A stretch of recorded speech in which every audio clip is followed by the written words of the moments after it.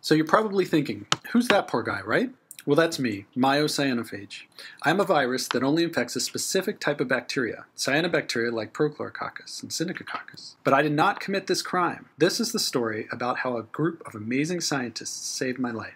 All rise for the Honorable Judge Ubiquitous Pelagibacter. Quiet in the courtroom. I want a quick, fair trial. Attorneys, start your openings. Your Honor, ladies and gentlemen of the jury, my name is Miss Firmicutes, representing the Pacific Ocean realm. We have strong DNA evidence and an eyewitness account that tied the defendant, Mr. Cyanophage, to the crime.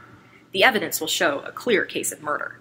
My name is Mr. Bacteroidetes. While bacteria are killed by viruses in the ocean every second, I know that my client, Mr. Cyanophage over there, did not kill the victim. We will provide an expert account proving why. I'm going to fast forward through most of the prosecution and just show you the highlights. It was him! I saw him kill Mr. Prochlorococcus. I was just floating around the Monterey Bay right off the coast of California when I heard a loud scream. Poor Mr. Prochlorococcus. It was not me, I swear.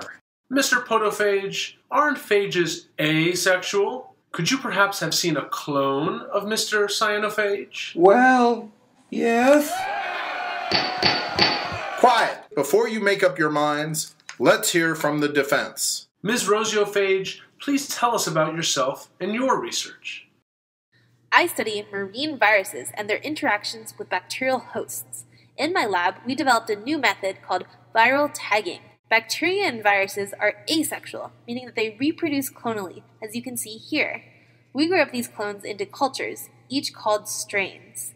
In this method, we dyed the DNA of the cultured viruses with a stain called SYBR Green, which causes the viruses to shine bright or fluoresce.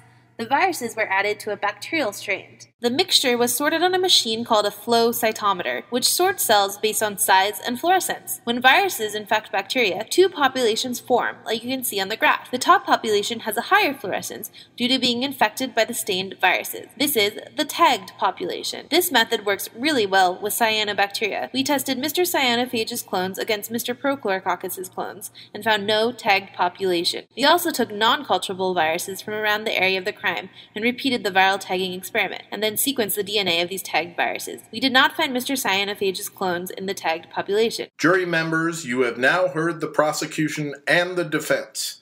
It is up to you now to deliberate. Jury, how do you find?